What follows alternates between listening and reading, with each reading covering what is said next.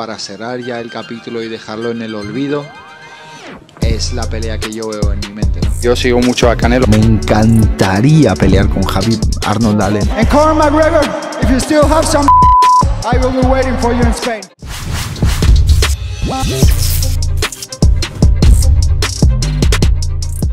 Bueno, señores, Moussa Aloev ya parece que se cansó un poco de que Tupuri esté mencionando a todo el mundo y acaba de salir, o salió hace un tiempo, unas declaraciones, ¿no? Diciendo de que Tupuri estaba mencionando que si a Khabib, que a Islam, que a McGregor, que a incluso hasta Messi, y los había retado a todos y cada uno de ellos, pero que al único que no había mencionado era a él mismo, era el propio nombre de Moussa Aloev, el único peleador que está invicto dentro de su categoría, dentro de su división y que es realmente él la pelea, ¿no? Que debería estar mencionando Ilia Topuria, es realmente eh, en Moussa quien Topuria debería enfocarse, ¿no? Y esto también muchas personas lo han hablado dentro de las redes sociales, lo cual es una cosa que yo estoy en bastante desacuerdo. ¿Por qué? Porque estamos claros, ¿no? De que ahora mismo el único peleador de que pudiéramos pensar de que le puede hacer frente en la división de 145 libras es Moussa Aloev ahora mismo a Ilia Topuria por ese récord que viene invicto ahora mismo dentro de la división.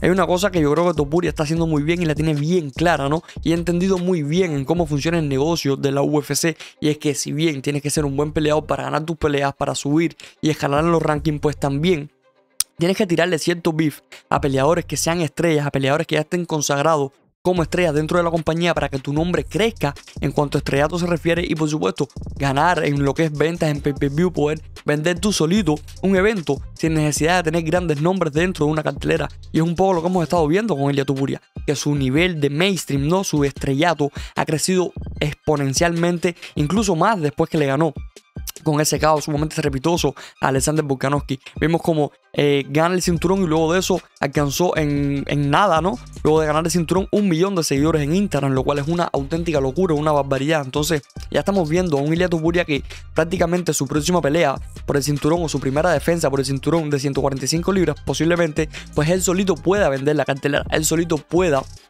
eh, eh, vender ese pay-per-view completo sin tener la necesidad de poner grandes nombres debajo o sin poner dos peleas eh, por título ni nada por el estilo, que es algo que hemos visto en otros campeones que tienen que poner dos peleas por el cinturón para que el evento se pueda vender bien, para que sea un evento que llame la atención. ¿Por qué? Porque Ilya Tupuria ya ha entrado dentro de ese marco, dentro de ese círculo de peleadores que son sumamente mainstream, que todo el mundo quiere ver. Muchas personas porque le caen mal, porque quieren que pierda el invicto y muchos otros porque simplemente le gusta. Ilya Tupuria le gusta lo que dice, le gusta lo que habla. Entonces, creo que Tupuria entendió muy bien el negocio y por eso estamos viendo a un Ilia Topuria de que está mencionando nombres grandes, de que no está mencionando peleadores ni siquiera de su propia compañía, está mencionando que quiere enfrentar a Conor McGregor en UFC España, de que quiere enfrentar y quiere subir de división y pelear contra Islam Makhachev luego de que defienda al menos una vez su cinturón. Ya vimos que no está hablando ni siquiera de una revancha, de que él mismo dijo, si tengo que darle una revancha a Volkanovski se la voy a dar porque se la merece, pero que realmente no es lo que a él le gustaría hacer. él le gustaría defender el cinturón en 145 y luego subir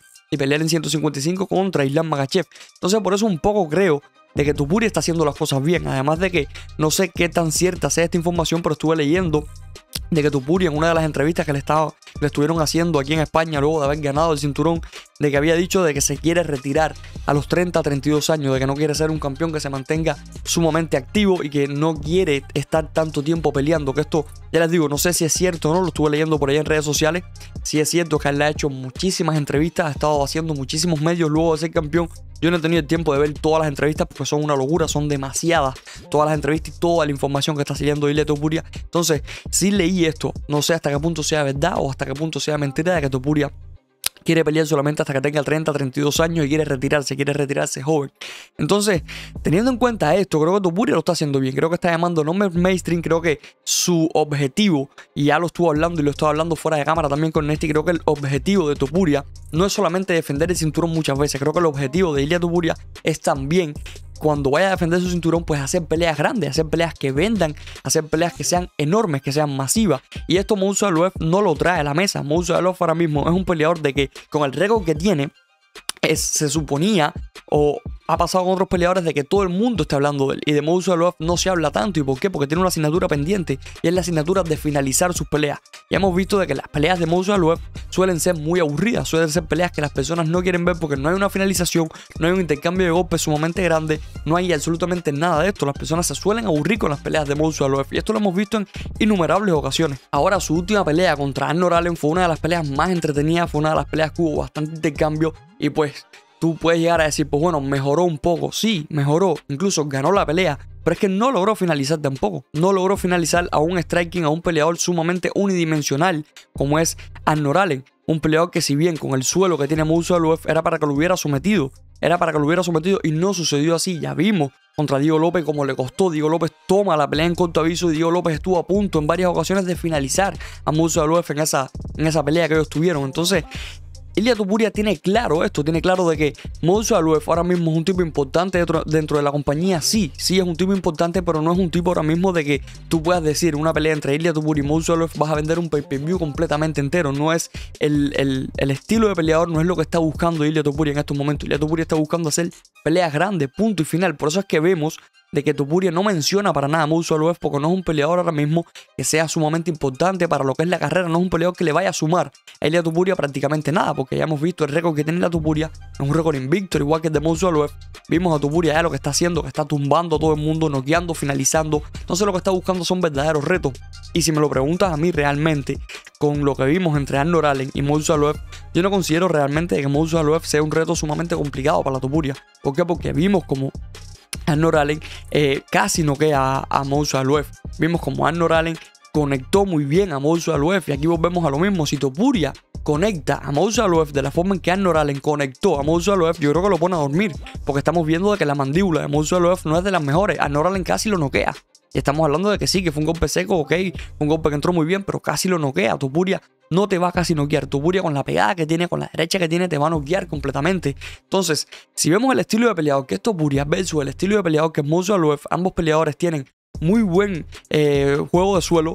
Ambos peleadores se van a anular completamente en lo que es el suelo. Se van a anular y esto es una realidad. Y cuando dos peleadores se anulan en una parte de la pelea, cuando dos peleadores se anulan en lo que es su pelea de suelo, porque son muy buenos ambos inclusive, pues la pelea se va a quedar en lo que es de pie.